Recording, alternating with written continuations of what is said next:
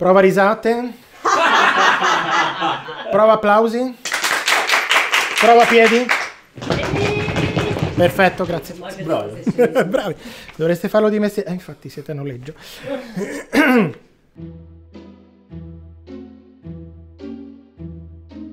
State ascoltando Perfetti Sconosciuti, un podcast dove il piacere di leggere incontra il piacere di scrivere. Io sono Claudio Di Filippo e in ogni puntata sceglierò un testo scritto da voi e gli darò voce per farlo conoscere al nostro pubblico. Ma scopriamo subito il perfetto sconosciuto di oggi. Buon ascolto!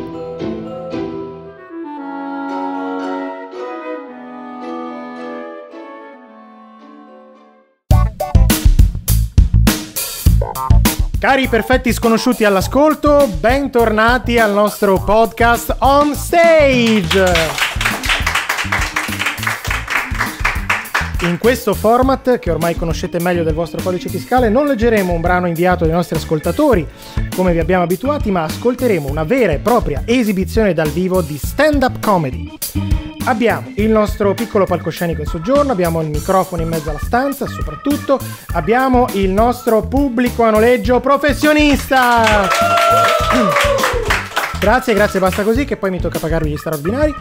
Il perfetto sconosciuto di oggi si chiama Rullo di piedi Francesco Martalò con l'accento sulla O. ok. Eh, dunque Francesco, Fiorentino, classe, classe che classe 89. hai fatto? Hai fatto la classe 89? Sì, sì. Eh, terza C che... Ero all'F. Ah, L- 89 F. F 89F. Ama la scrittura e soprattutto eh, scrive dialoghi. Perché questa preferenza, questa discriminazione nei confronti dei monologhi? Eh, Che, No, dialoghi perché almeno non ci sono grosse problematiche con la grammatica e non so, è la forma di scrittura che mi... che ti stia più Sì, congeniale. sì. Quindi quando scrivi dialoghi tu usi congiuntivi a cazzo così. Sì, sì, esatto. Mi Cerco sembra- di, di evito. Mi eh. sembra giusto. Eh, è vero che per anni hai scritto con la mano sinistra. Sì, ho provato con la sinistra e non venivano bene. Poi Quando, sono reso- quando hai, rega- eh, hai realizzato che non eri mancino? Esatto, poi ho iniziato con la destra e ho continuato con la destra. Eh, E devo ammettere che la stessa cosa ho fatto con la masturbazione. Ecco, infatti. Con- con Ti viene molto meglio. Viene meglio. Cioè, Esatto. sembra comunque un'altra... No, vabbè, non voglio. Vabbè, no.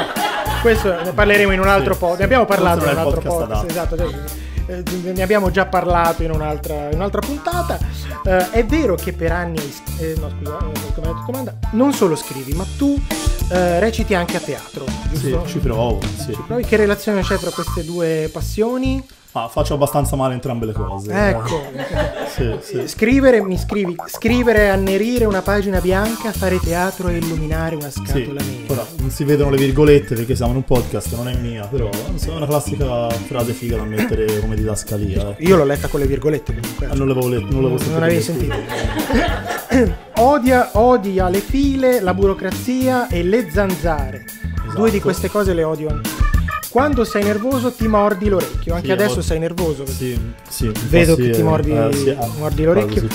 I nostri ascoltatori non possono vederlo, ma vi assicuro che così anche il pubblico a noleggio ha notato questa cosa, vero? Vero? Allora, Oh. devo ammettere che è una citazione anche questa, purtroppo. Davvero? No, Sì, di chi? Di Woody Allen. Di Woody Allen, Woody Allen, vedi, ma da Woody Allen abbiamo preso un po' tutti, anche certe nevrosi.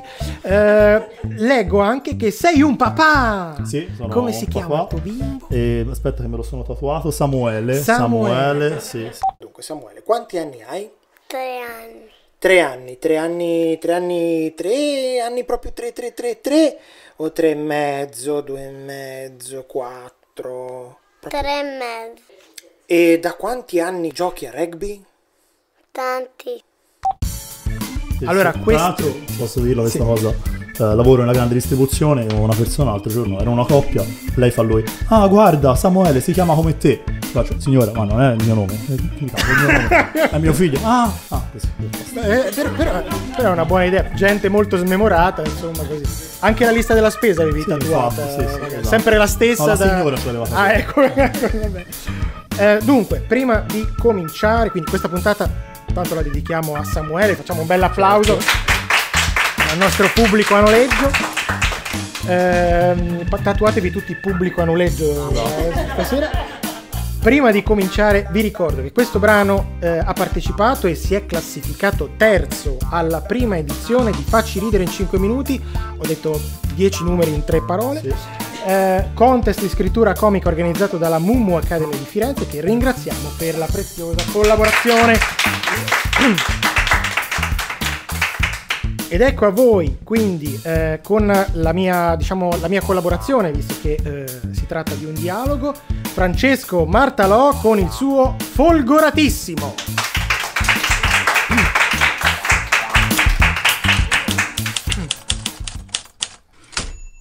Avanti il prossimo. Eh, sì, buongiorno. Mm, Guardi, credo che ci sia un errore. È il suo turno adesso, di quale errore parla?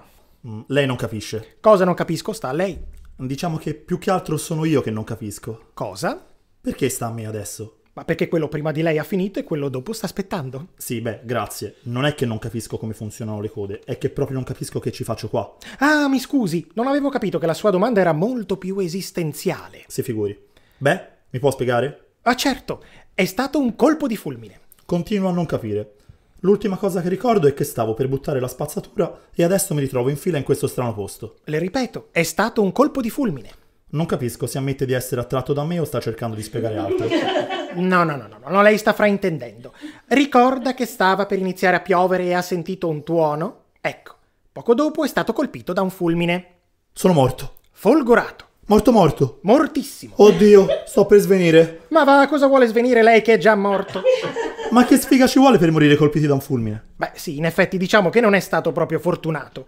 Aveva una probabilità su 80.000 circa. E ha preso me. In pieno, sembrava che l'avesse mirata. Oddio.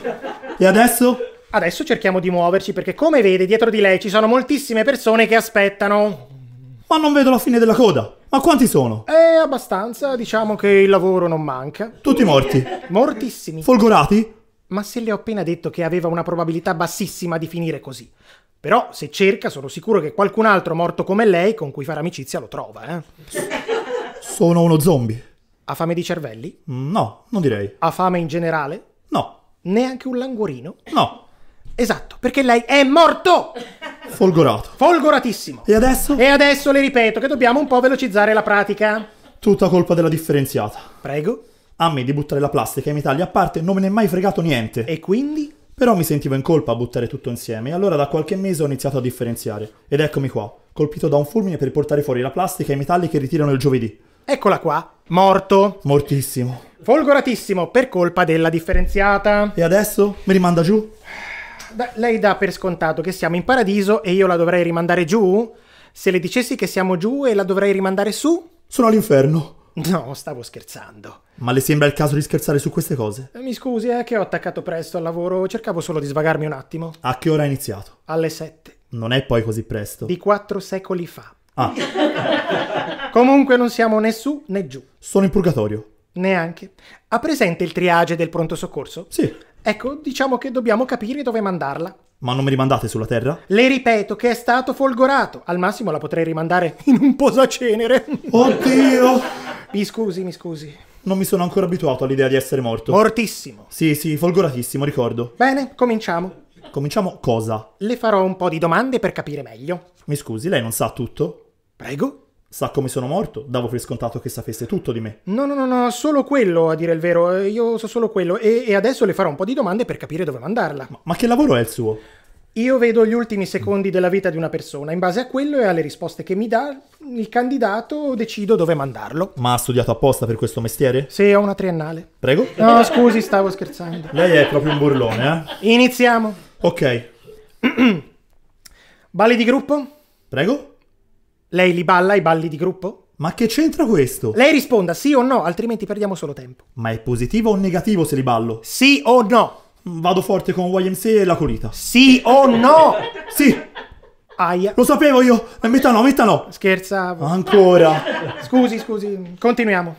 Caffè con zucchero o senza? Senza. Mare o montagna? Mare d'estate e montagna d'inverno. Eh, grazie, sì, vabbè. Mare o montagna? Mare. E ci voleva tanto. Eh, lei la fa facile. Non so se rischio di andare all'inferno o chissà dove in base a cosa rispondo. Meriterebbe molto peggio, guardi, solo per la colita. Sì, lo so, sta scherzando. Veramente roserissimo. Ma andiamo avanti. Pizza o sushi? Sushi. Ma veramente, così, senza pensarci. Pizza, pizza. No, no, ormai ho segnato, mi dispiace. Oddio. Abbiamo quasi finito, un'ultima domanda. Sono pronto. Se lei potesse scegliere in che animale reincarnarsi, cosa sceglierebbe? Fra leone e zanzara? Senza alcun dubbio il leone. Molto bene, abbiamo finito. E adesso? Fra poco la sua anima tornerà sulla terra e avrà la forma fisica di una zanzara. Ma ho scelto il leone. E che c'entra? C'erano anche tutte le altre domande, no? Colpa del sushi o della colita? Le svelo un segreto. In realtà quelle erano inutili. Se avessi detto zanzara si sarebbe reincarnato in un leone. Immagino che non ricorderò nulla di tutto questo. Al contrario, ricorderà tutto e proverà a sussurrarlo alle orecchie di chi incontrerà per tutta la sua breve vita di zanzara. Oddio, tu sei il diavolo. Ma va, è solo che mi annoio. Gliel'ho detto che sono sveglio dalle sette di quattro secoli fa. Adesso però la devo proprio salutare. Guardi che coda. Avanti il prossimo!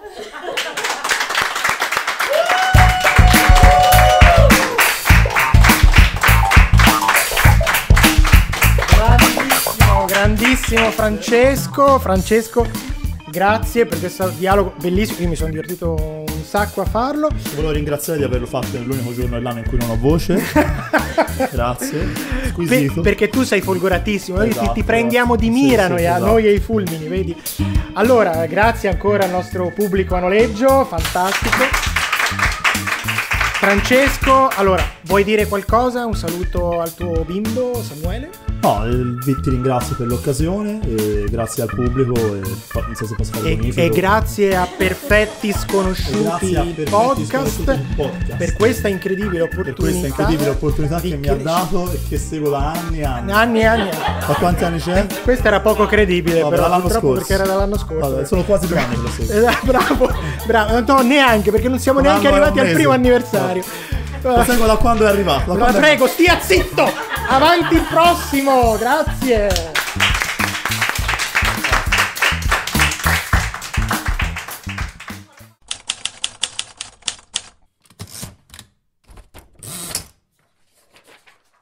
E questo era il perfetto sconosciuto di oggi. Per saperne di più, trovate un profilo dell'autore e le note sul brano nella descrizione dell'episodio. Si ringraziano per l'amichevole partecipazione Christian, Elisa, Francesco, Monia, Mattia, Silvia G e Silvia M. Potete sostenerci condividendo il podcast sui vostri profili social, lasciando un commento sulla nostra pagina Facebook e passando parola. Per partecipare, mandate i vostri testi originali, pagine di diario, poesie o racconti brevi all'indirizzo perfettisconosciuti il podcast at gmail.com. Specificate un titolo, il vostro nome o uno pseudonimo e, se volete, anche una dedica. I prossimi perfetti sconosciuti potreste essere voi. Al prossimo episodio. Come si chiamano i giocatori di rugby? C'è l'attaccante, La parcante. sì, poi c'è il difensore, Sì. poi, Poi basta. Basta, attaccante e difensori. Sì. E quanti bambini ci sono nella squadra?